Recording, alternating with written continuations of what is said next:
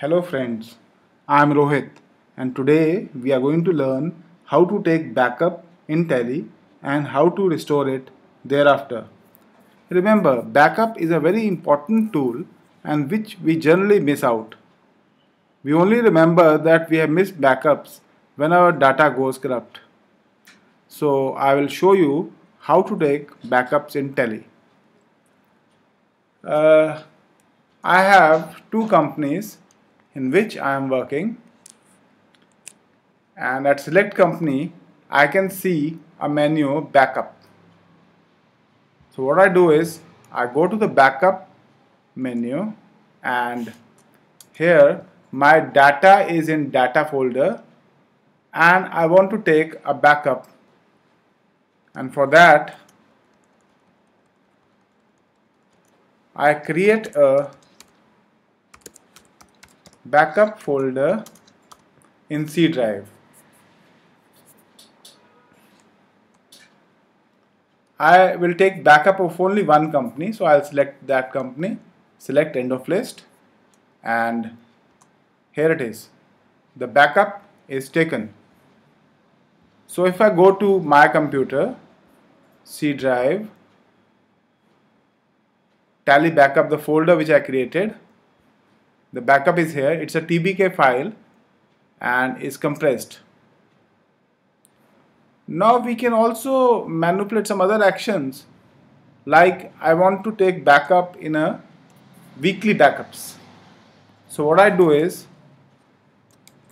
I create another subfolder Monday. Take a backup again I go back. If it is to Tuesday today I take create another folder Tuesday and take a backup. Similarly I can take backups in folder Wednesday for Wednesday and it is done. So if I check the folder where I kept the backups. I have Monday, Tuesday, Wednesday. In Monday, there's a backup TBK file. In Wednesday, there's another one which I have taken for Wednesday. So we can have multiple backups or weekly backups. So we are sure that we will be able to recover whenever our data goes corrupt. Now, when we want to restore, so we go to the restore button menu and here. The destination is the tally destination folder data folder and let's assume I want to take restore a normal backup. So what I do is I this is the first backup which I took without any subfolders. So I take the backup. It says the company is in use I overwrite it.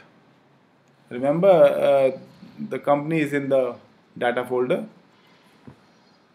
It was warning me that it will override the previous company. Otherwise you can take that company out from the data folder and then restore it.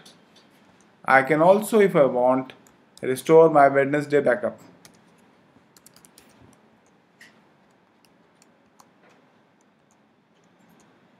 So here it is.